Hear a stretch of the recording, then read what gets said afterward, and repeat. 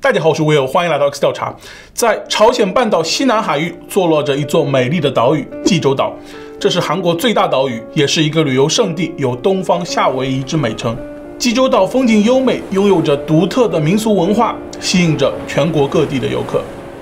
在韩国西北部京畿道坐落着该国的第三大城市仁川，它位于首尔以西四十公里，是一座重要的港口城市。其西北部的仁川港是韩国主要的贸易港口，这里有着现代化的设施，也是海上运输的重要枢纽。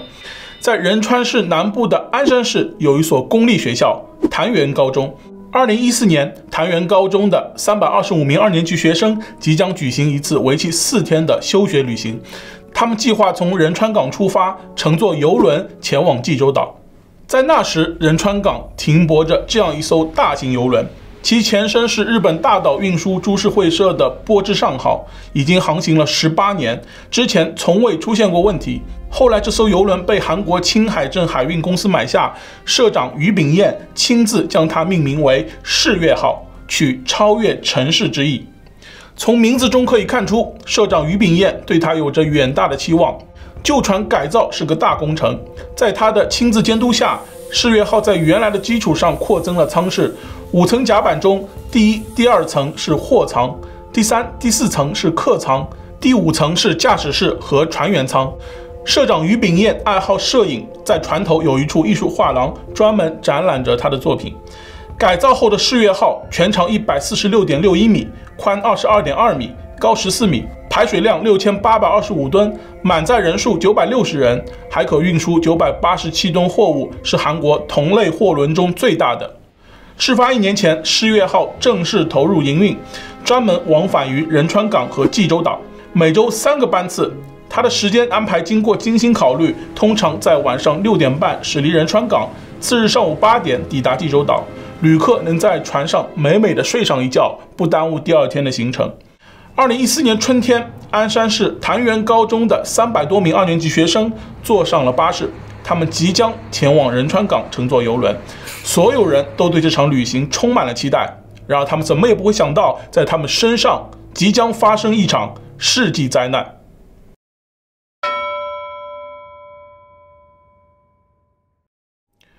二零一四年的四月十五日，这天是个星期二，傍晚时分，潭元高中的学生们早早地抵达了仁川港，他们排着队，推着大大小小的行李箱，在码头准备登船。他们即将乘坐的游轮是奥哈马纳号。然而天公不作美，起航前港口突然起了浓雾，海面能见度不到一公里。出于安全考虑，航管中心发布了警报，暂缓船只在夜间航行。港口停靠的十艘船都被紧急叫停。同学们一边聊着天打发时间，一边望向云雾缭绕的海面，祈祷浓雾能尽快散去。等了几个小时，时间来到晚上八点半。此时浓雾渐渐散去，天气慢慢见好。也许是出于安全考虑，奥哈马纳号迟迟没有出航的意思。焦急等待的学生们开始交头接耳地讨论着，一阵不安的情绪开始蔓延。这天晚上，原定出航的船只中有一艘名为“世越号”的大型游轮，它是奥哈马纳号的姐妹船，隶属于同一家公司，结构大小相似。由于装载了大量货物，世越号急需赶往济州岛，于是，在第一时间请求出航。在重新评估了天气条件后，航管中心解除了限制，世越号成为了当晚唯一一艘获准出航的游轮。此时，世越号上已经登上了一百多名乘客，但上面还有许多空船舱，足够容纳潭元高中的师生。为了不影响第二天的旅行计划，在与船长商量后，学校临时决定放弃奥哈马纳号。改成世越号前往济州岛。听到这个好消息后，学生们响起了一股欢呼声，大家纷纷打电话或发短信，把换船的事告诉了家长。三百多名学生推着大大小小、五颜六色的行李箱，怀着激动的心情，陆陆续续登上了世越号。大部分学生都是第一次乘坐这样的大型游轮，他们打量四周，对一切感到好奇。还有一些调皮的同学忍不住轻轻敲打栏杆，发出声音。大家有说有笑，觉得十分有趣。在船员的引导下，学生们来到了第四层。这层空房是专门为潭元高中学生准备的。老师则和船员一样住在第五层，其他散客被安排在了第三层。学生们排着队进入了第四层客舱，长长的走廊，一眼望不到尽头。一间间客舱整齐地排列在两侧。推开一扇舱门，映入眼帘的是尽头的舷窗，透过它便能看到海面的风景。床铺的设置很像学生宿舍，每个船舱里有八张床，分上下铺，分列在门的两边。过道有些狭小，但房间里很整洁，没有其他多余的布置。学生们对一切都很满意。他们很快放好了行李，有的躺在卧铺上，有的透过舷窗望向海面。世越号的船员们正紧张地做着出发前的最后准备。与船舱里的热闹不同，这天港口一片寂静，只能听到世越号引擎微弱的轰鸣声和海浪声。虽然海面上还有一层薄薄的雾，但世越号被获准放行。只见其船锚缓缓收起，一切准备就绪，即将起航。晚上九点，随着一阵汽笛声的响起，世越号缓缓地驶离了仁川港，向目的地济州岛进发。看着海岸线越来越远，船舱内的学生们激动坏了。韩国教育内卷非常严重，学生们每天学习非常辛苦。这次休学旅行对他们来说是一次难能可贵的放松机会。海风的自由，济州岛的美景，都让他们深深向往。十月号驶离港口后，有人结伴来到甲板，在黑夜中吹着海风，感到无比惬意。有人拉上朋友前往船上各处拍照留念，有人留在船舱吃着零食聊着天，还有人关起灯来躺在床上听鬼故事。位于第三层的中央大厅里热闹非凡，有两位菲律宾驻唱歌手正为大家演出，美妙的旋律回荡在整个大厅，大家举起杯子庆祝成功起航。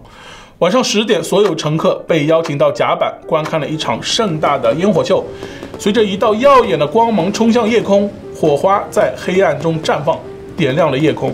绚烂的烟火带走了学生们的烦恼。第二天恰好是一位老师的生日，学生们为此特地熬夜到了凌晨。时钟的指针刚刚走过午夜十二点，学生们便迫不及待地拿出蛋糕为老师庆生。他们一起拍下了照片，留下美好的回忆。漆黑的夜幕中，世越号是唯一的夜色。慢慢的，大家进入了梦乡。时间来到第二天早晨八点半，学生们陆续从睡梦中醒来，有些人前往了第三层中央大厅享用早餐。此时的世越号依然在海面上航行着，已进入了梦古水道四公里处。这里位于真岛与梦古岛之间，有着强劲的水下暗流。此时海面风平浪静，航程也已经过大半，不出意外，船只将在两个小时后抵达济州岛。然而变故就在不经意间发生。八点四十八分，船舱内的学生突然感到一阵剧烈的晃动，此时甲板上成堆的货柜被甩入了水中，发出一声声沉闷的响声，高高溅起的水花猛烈地冲刷着船体。更令人惊恐的是，在摇晃发生了几十秒后，船体仍然没有恢复平衡。此时，整艘船向左侧倾斜了三十度，在第三层中央大厅吃早餐的乘客像多米诺骨牌一样，一个接着一个倒在地上。在船舱内的乘客和物品被甩到了一边，几乎无法站立。走廊上到处都是摔倒的乘客，许多人受了伤。唐园高中二年级学生崔德夏此时正在第四层走廊中，他被突如其来的晃动甩到了地上，意识到情况不妙。在事故发生的四分钟后八点五十二分他用手机拨打了幺幺九。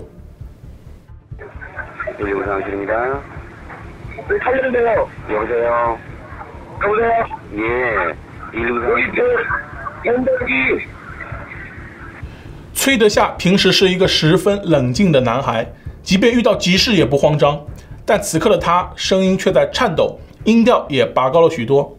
他想尽办法让自己克制住内心的恐惧，尽可能的向接线员说明船上遇到的状况。배가침몰된것같아요배가침몰해요여기여기제주도가고있었는데예여기지금배가떨어져서떨어진것같아요지금잠깐만요잠깐만요자지금타고계신배가침몰한다는소리아니면옆에있는다른배가침몰한다는소리예요배가침몰배가 崔德夏怕自己没讲清楚，就把电话交给了身旁的一位老师接听。哪知道这位老师表现得更为慌张，无法冷静下来，只是不停地喊救命，没能向接线员传达有用的信息。手机交还给了崔德夏。接线员在了解了基本状况后，将电话转接给了靠近事发现场的木浦市海洋警察厅。木浦市是韩国全罗南道的港口城市，事发地点就在木浦市的管辖范围内。接线的海警误以为崔德夏是船员，便不断询问他所在位置的经纬度等专业问题。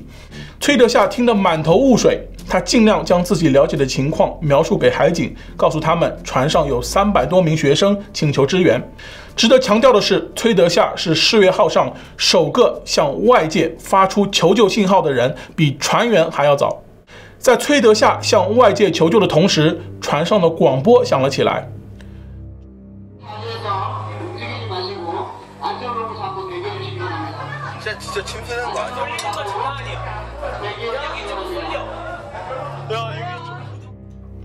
值得注意的是，这段话在事故发生的一个小时后不断重播，重复了至少十几遍。八点五十五分，在崔德夏向外发出求救的三分钟后，大副江元直才向济州航管中心发出求救信号，请对方通知海洋警察厅派遣救援。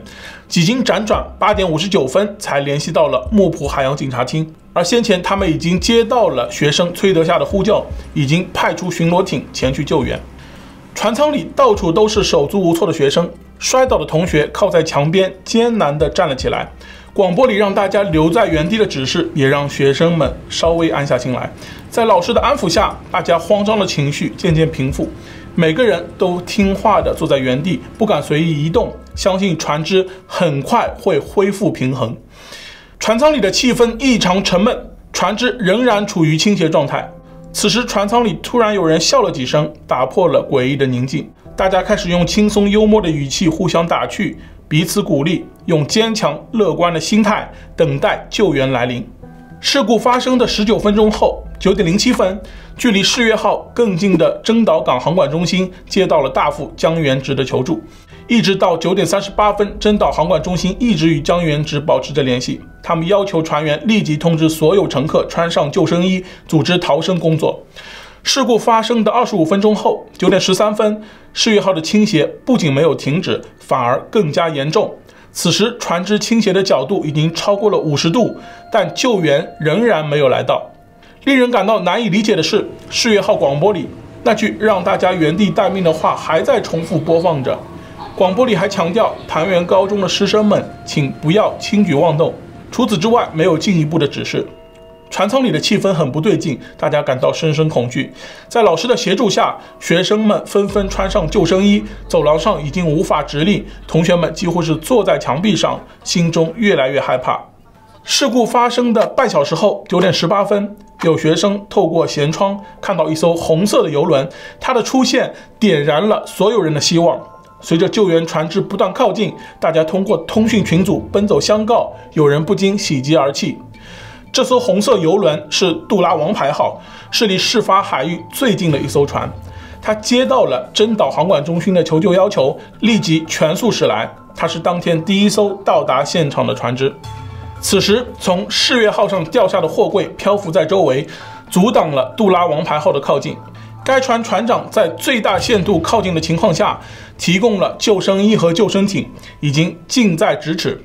但世越号船员根本没有组织疏散，偌大的甲板上一个人也没有。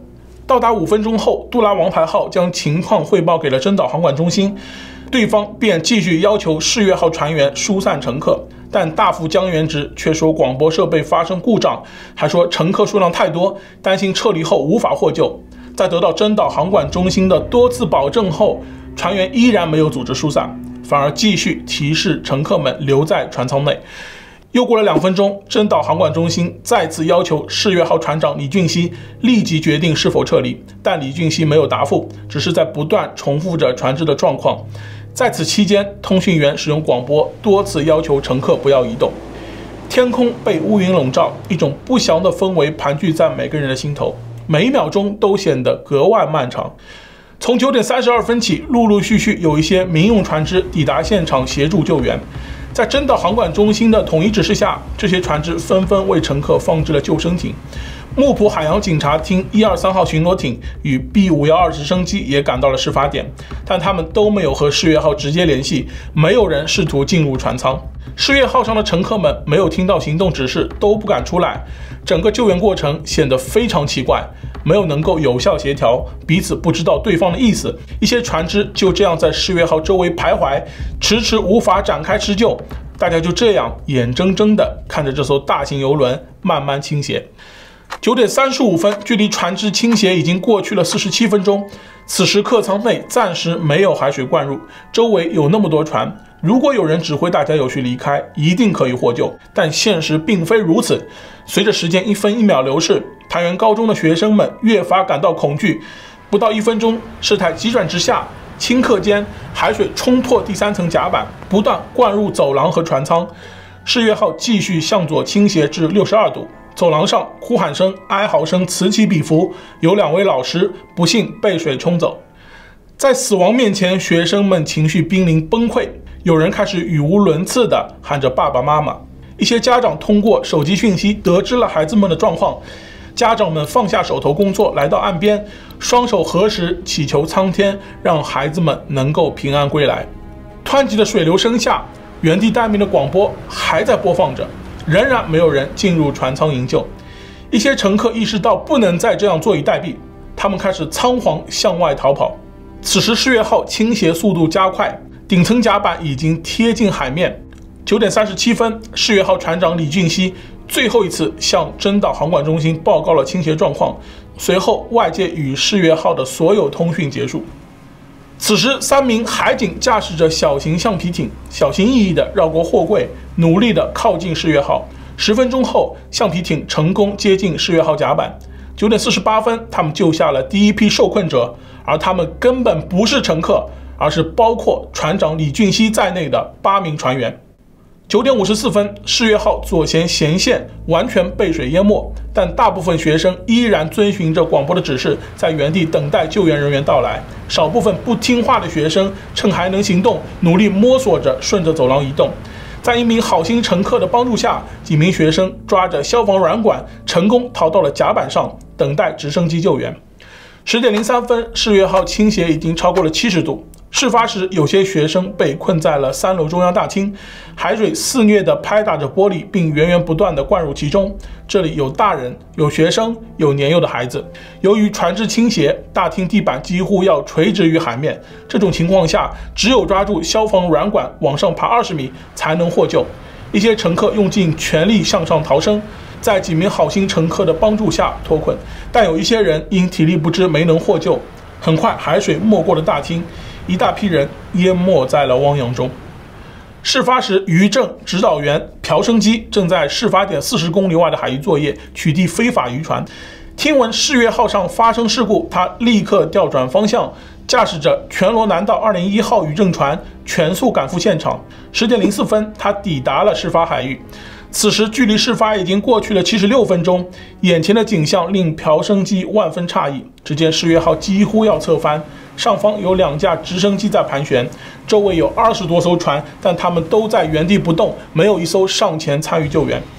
来不及思考原因，朴生基驾驶着船径直靠近了世越号，因为他发现船尾有大批乘客在等待救援。他冒着生命危险登上甲板，与同事一起成功救下了二十八人。他的全罗南道二零一号渔政船亮着警示灯。附近等候的二十多艘民用渔船见状后，以为是政府派遣的救援船开始行动了，他们才纷纷靠近世越号展开救援。接下来的十五分钟，这些民用渔船陆陆续续救起了一百二十人，发挥了最大的救援作用。上午十点十五分，一些乘客来到甲板上，此时世越号已经倾斜超过九十度，即将翻倒，情况十分危急。这些乘客鼓起勇气跳入冰冷的海水中。被救起后，他们丝毫没有劫后余生的喜悦，大家因寒冷和恐惧，连哭的力气都没有，直到回到岸上才忍不住失声痛哭。两分钟后，情况急转直下，十点十七分，越过垂直状态的世越号完全倾覆，只剩下右舷还在海面上。舱内的学生终于意识到不能再听广播的指示了。转瞬之间，海水淹没了第四层的甲板。这里有四十名学生在等候。他们抓住最后一次逃生机会，顺着水势拼尽全力向周围船只游去，悉数获救。但剩下的学生就没有那么幸运了，他们的舱门因水压无法打开，已经失去了最后的逃生机会。船舱里只听得到海水冲刷声和凄厉的惨叫声，学生们拼命地拍打着窗户，纷纷哭泣着。有人用手机给父母发送了遗言：“船正在倾斜，爸妈，我想见你们。”这是某位家长收到的最后一条短信，之后与孩子彻底失联。世越号倾覆后，正在缓慢下沉，靠近的船只和人员稍有不慎就会被吸入其中。十点十八分，海警开始管制，不允许任何船只靠近。事发的九十二分钟后，世越号完全倾覆。渔政指导员朴生基不停地环顾四周海域，但没有见到乘客。正当他转身要离开时，忽然听到背后有人呼救。他定睛一看，是一位穿着救生衣的男学生，正拼尽全力的呼喊。男生所处的位置离世越号很近，随时可能再被吸入海中。冒着危险，朴生基调转方向，以最快的速度驾船冲向他，将其救起。在世越号下沉的几分钟内，朴生基成功救起了最后一位幸存者，他是潭源高中的二年级学生朴俊赫。船只倾覆时，朴敬赫还在船内没有逃出。他拉着一位女生，一路顶着水流艰难地前进。此时船内上下颠倒，根本不知道出路在哪儿。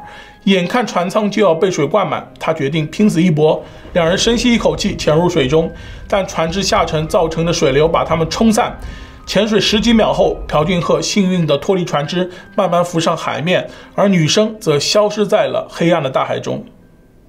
倾覆的五十八分钟后，十一点十八分，船体几乎没入水中，只剩下蓝色的球状船首露在海面。事故发生后，相关部门相继组织了应变作业。这些部门虽然多达十几个，但没有一个统一的调度和指挥负责人，部门之间职权重叠，又没有掌握准确的资讯，救援工作进展混乱。事故发生当天上午十点，乘客开始全力逃生时，韩国总统朴槿惠就已经接到事故报告，但他随后不知去向。上午十一点，就在世越号几乎要没入水中时，中央灾难安全对策部门向青瓦台报告没有人员伤亡。随后，文化广播公司在上午十一点零一分率先播送了这则消息，各家新闻机构相继报道船上没有人员伤亡。误报持续了长达四十九分钟。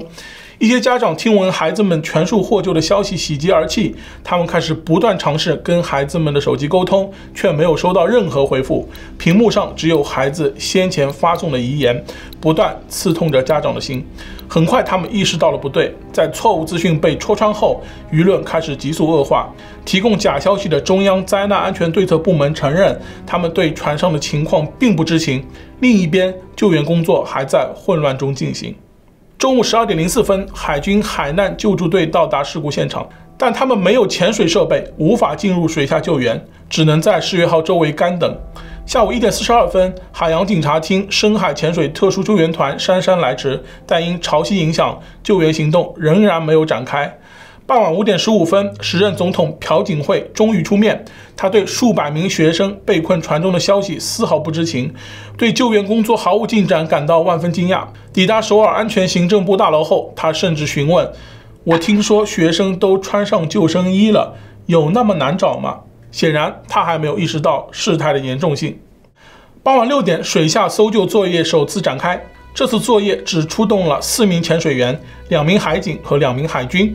过程持续十分钟，没有救出任何人，但政府却谎称投入了一百一十八名海警和四十二名海军，谎言戳穿后引发了民众的愤怒。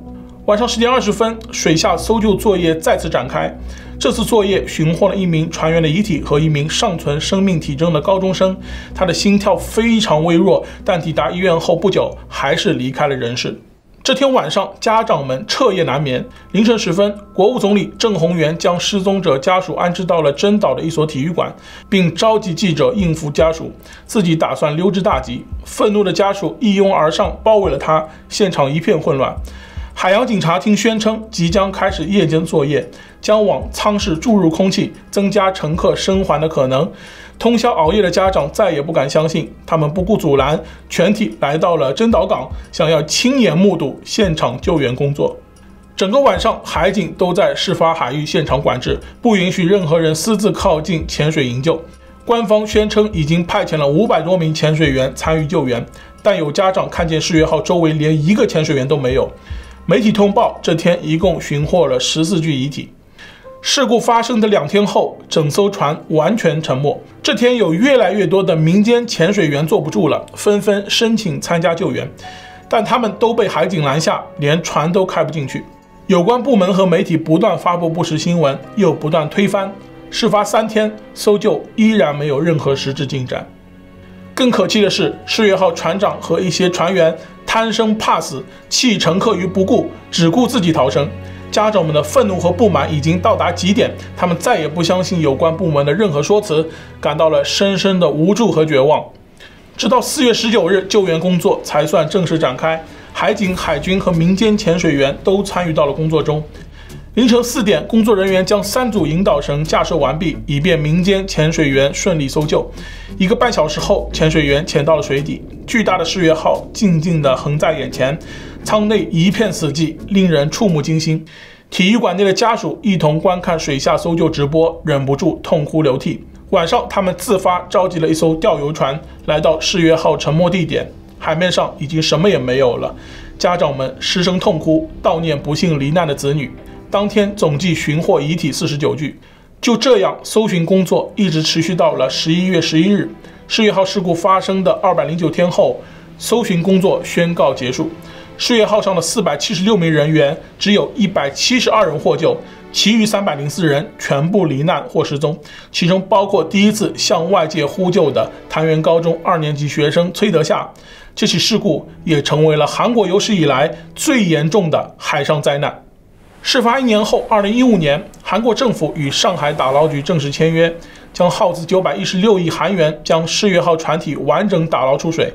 然而，打捞作业比预想的难度要大很多，实际支出达到了两千八百亿韩元，远远超过了之前的金额。突破重重难关，经过两年准备期，二零一七年三月至四月间，上海打捞局正式开始作业。振华三十号起重船成功将世越号吊出海面，然后运送至木浦新港。在沉没的一千零九十一天后，世越号终于得以重见天日。灾难发生后，有关部门对事故原因展开了调查。据了解，事发时 AIS 关键数据信息丢失，造成事故原因存在争议。以下是最广为流传的几种说法：说法一，货物超载。根据有关部门公布的调查公告。货物超载是导致世越号沉没的直接原因，船体因急速右转，大量超载货物坠落海中，使得船只左右配重失去平衡，从而向左倾斜。根据执勤船员朴寒杰的说法，事发时他命令舵手照准机把自动转向系统调整为手动。八点四十八分准备变更航向时，船身突然失衡，随后船手开始不受控制的右转。照准机试图将舵轮转向左侧，但已不受控制，船手反而更剧烈地向右急转，船身开始向左侧倾斜，大量货柜掉入海中，之后加剧了船身倾斜。到八点五十三分，世越号已经右转二十度，以诡异的 J 字形轨迹在海面上漂移。世越号最大载重为九百八十七吨，而事发当天，船上共装载了一百八十二辆汽车、三辆大型重载卡车、三个钢制水柜以及大量钢筋，总计装载了两千一百四十三吨货物，超过了最大载重的两倍多，系严重超载。此外，为了容纳超载货物，船员违反规定，从船底抽出大量压舱水。压舱水通常存储在压载水舱中，能够增加船只重量，调整船体重心，保持船舶稳定。如果压舱水不足，可能导致船体发生倾斜后无法充分调整。当天世越号仅携带了七百六十亿吨压舱水，远远低于要求的标准一千七百零三吨。另外，世越号的改造加重了超载对事故发生的影响。为了容纳更多乘客。世越号的三四五层客舱经过扩充，使得重心被拔高了五十一公分，船体更容易发生倾覆。在航行过程中，由于舵机突然不受舵手控制，导致转弯角度过大而酿成悲剧。多数船舶专家也证实了发生机械故障的可能性。世越号生还船员中，舵手吴永熙亲笔写下自白信，表示世越号船身结构存在偷工减料，二层货舱的隔板完全无法防止海水入侵，一旦海水灌入，只会加速沉没。说法二：故意抛锚。这种观点是纪录片《那天大海》中提到的猜测。根据惯性，船体如果右转，应该向右侧倾斜，但世越号却是向左侧倾斜的，因此推测在船重心的左前方存在某种拉力，把世越号拉向左侧。纪录片指出，根据当时留下的影像资料，世越号离港前两侧船锚都是黑色，但事故发生后，左侧船锚却掉了漆，并且氧化发红。因此推测，左侧船锚曾经被人为放入水中，而造成船体急转。这种观点认为，世越号的沉船是船员的阴谋，在航行时有船员故意要让船只沉没，偷偷放下了船锚，导致灾难发生。但世越号船体调查委员会表示，世越号左右船锚都处于正常收起固定状态，没有进出的痕迹。荷兰海事研究所的实验模拟证明，船锚即使放下，也不足以导致沉没。说法三：外力撞击。这种说法一度在民间广为流传。根据公开航迹图与雷达影像等证据，有专家指出，事发时世越号身后有个巨大的物体，其体积远大于货柜，且能够自行转换方向。这一观点认为，世越号在事发时的不合理轨迹是潜艇撞击造成的。另外，生还乘客证实在事发时听到过不明巨响，种种线索都指向了这一理论。然而，随着船体打捞上岸，英国 Brooks Bell 公司的调查结果显示，打捞后的世越号船体表面并未发现明显冲撞痕迹。在之后的一份调查报告中，又没有完全排除外力撞击的理论，但结论是外力碰撞的可能性非常低。如果说灾难的发生是由于货物超载、船体改造、突然转向的原因，那么在事故发生后，船长、船员以及有关部门的种种行径都不禁让人脊背发凉。为何救而不救，成为了民众关心的焦点。可以说，人祸才是造成三百多名乘客不幸罹难的根本原因。首先，船长和船员多次受到明确指示，要求组织乘客穿上救生衣，立刻撤离。当时船的倾斜角度还不大，若能及时疏散乘客，可以极大程度减少伤亡。世越号船长和船员只顾自己逃生，完全不顾乘客性命安危。接到指示后，船员依然要求乘客原地待命，而自己却逃上了救生艇。船长李俊熙事发时在房中休息，听到响动才爬上顶层甲板。获救时，他甚至只穿着长袖衬衫和短裤。作为最了解世越号状况的人，他们在成功撤离后，也没有协助救援人员展开营救，丝毫没有尽到应尽的责任。大副江元直曾不接受真岛航管中心的疏散指令，他表示船上乘客太多，无法全部撤离。但实际上，世越号上共配备四十四艘小型救生艇，每艘可容纳二十五人，还有四套海上撤离系统，每套可容纳二百五十人。这些设备总共可供两千一百人逃生。当时世越号上的总人数是四百七十六人，如果救援组织得当，完全有机会全部获救。但事故发生后，只动用了两艘救生艇。航管中心再三强调，只要乘客跳入水中，附近的船只可以保证大家获救。但没有乘客收到指令，他们只是一遍遍地听到让大家原地待命的通知。海洋警察厅的行动非常消极，还阻止热心民间人士接近现场，导致救援无法及时展开。根据全罗南道201号渔政船提供的影像资料，在世越号倾覆前，几乎看不到海警的身影。后来的海警在救下船长和船员后，就开始踌躇不前，反而是之后到达的朴生机和民间渔船主导了救援。要不是有他们，还会有更多乘客罹难。在救助船员时，有一位海警曾通过攀爬消防水管进入驾驶室，这是最后一次可以利用广播提醒乘客疏散的机会。但海警只是救走船员之后就离开了，有关部门职能混乱重叠，缺乏统一调度。总统朴槿惠在接到事故发生报告后消失了七小时之久，有传闻称朴槿惠当时在打美容针，也有传闻称当时她在做头发。至于当天她究竟在做什么，也许只有她自己知道了。随着舆论发酵，有关活人献祭的阴谋论也随之出现。韩国坊间最广为流传的说法是与勇士教的头目崔泰明有关。这位崔泰敏是总统朴槿惠的闺蜜崔顺实的父亲，与朴槿惠很早就认识。崔泰敏于1994年去世，传说崔泰敏曾在去世前扬言自己会在二十年后重生，而世越号沉船事故发生在2014年，两者正好相差了二十年。另外，崔泰敏的忌日阴历日期为3月21日，世越号沉船阴历日期为三月十七日，两者相差仅有几天。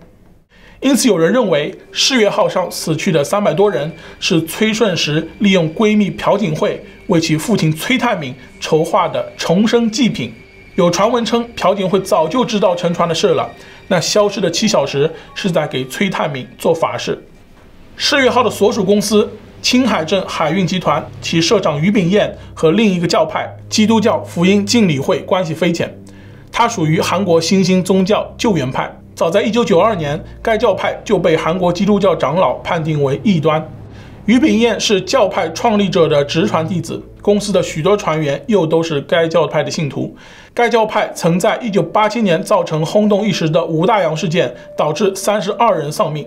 而由于炳彦亲自命名的“世越”二字，也具有宗教内涵。世越号的原船长在事发前曾多次报告船体稳定性的问题，但结果被公司勒令停职。公司临时调任李俊熙担任此次出航的代理船长，这也让民众浮想联翩。他们认为世越号的失事是社长于炳彦的阴谋。事故发生后，于炳彦因涉嫌挪用公款等罪名被通缉，警方出动六千人搜捕他。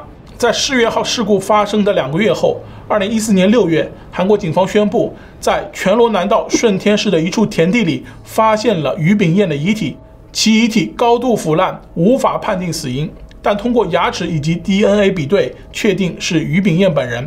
他的离奇死亡无疑给整起事件增添了一份诡异神秘的色彩。在世越号打捞上来后，还在其中发现了大量动物遗骸，这让民间有不少人相信献祭的说法。此次事故，检方针对船舶沉没责任及违反乘客救助义务等五大领域的违法行为立案调查，共计三百九十九人成为调查对象。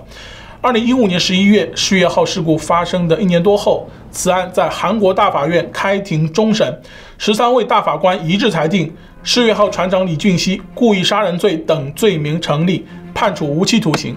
值得注意的是，该罪名最高可判死刑。不过，韩国自1997年后就没有实际执行，因此李俊熙最终被判无期徒刑。其余15名获救船员被判处一年六个月至十二年不等的有期徒刑。根据幸存学生的证词，有三名船员在事发时不离不弃，拼尽全力救助船上乘客到最后一刻。遗憾的是，这三名船员都因公殉职。经过终审，共有53人罪名成立。